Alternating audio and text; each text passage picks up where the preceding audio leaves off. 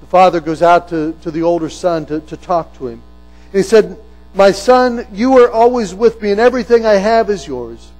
But we had to celebrate and be glad because this brother of yours was dead and is alive again. He was lost and is found.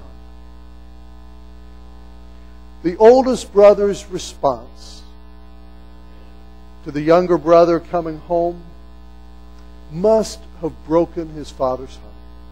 The father wanted the older son to feel the same joy that he felt because his younger brother had, had returned. But the older son did not feel that joy. And in the process, the father showed him grace as well. He didn't shame him for, for the way he responded. He didn't say, Who do you think you are? And why do you think you, you deserve a party? Instead of putting his son in, in his place, the father extends to him grace and invited him to, to come in and, and share in the party. The father gave a message of, of grace to, to both sons. To the younger son, he said, No matter what you've done, you're still my son. And to the older son, he says, You are my son, and you don't have to work to gain my acceptance. The father showed both sons grace in, in their lives. How much grace is there between you and your husband? How much grace is there between you and your wife?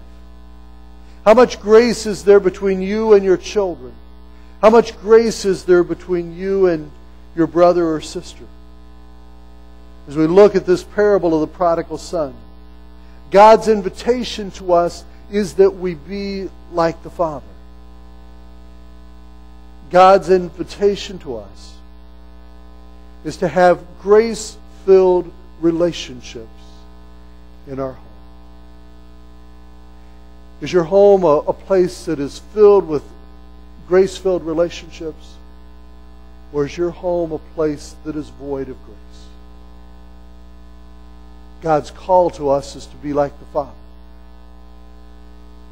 To be those that shower grace upon our family. To shower grace in our relationships. In order that we might share His love with others. Let us pray. Lord, forgive us for those times and those ways in which we hold back grace in our homes. Forgive us for those times and those ways that we do not shower grace upon our spouse. For those times and those ways that, that we fail to shower grace upon our, our children because somehow we want to have something to hold over their heads or, or to, um, to use as leverage in the future.